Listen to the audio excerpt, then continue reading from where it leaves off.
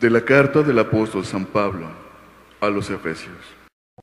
Hermanos, me arrodillo ante el Padre, de quien procede toda paternidad en el cielo y en la tierra, para que, conforme a los tesoros de su bondad, les conceda que su espíritu los fortalezca interiormente y que Cristo habite por la fe en sus corazones. Así, arraigados y cimentados en el amor, podrán comprender con todo el pueblo de Dios la anchura y la longitud, la altura y la profundidad del amor de Cristo, y experimentar ese amor que sobrepasa todo conocimiento humano, para que así queden ustedes colmados con la misma plenitud de Dios.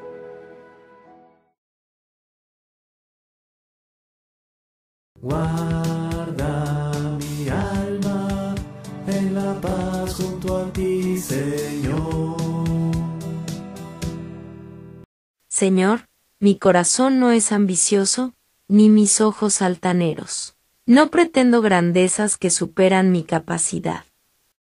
Guarda mi alma en la paz junto a ti, Señor.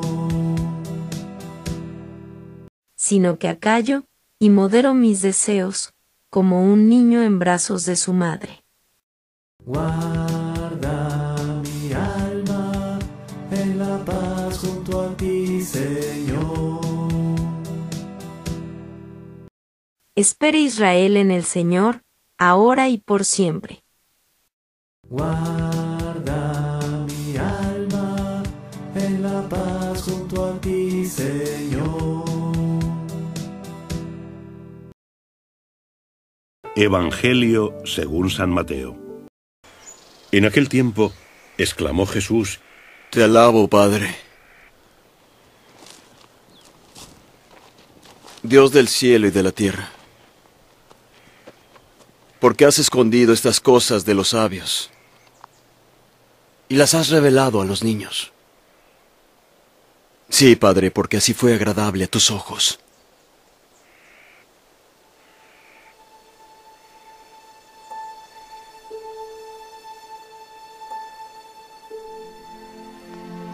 Todas las cosas me son entregadas por mi Padre.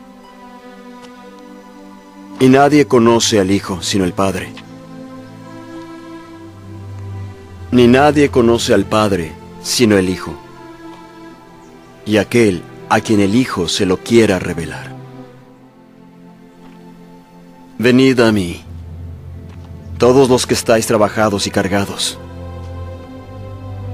y yo os haré descansar. Llevad mi yugo sobre vosotros y aprended de mí, que soy manso y humilde de corazón. Y hallaréis descanso para vuestras almas, porque mi yugo es fácil y ligera mi carga.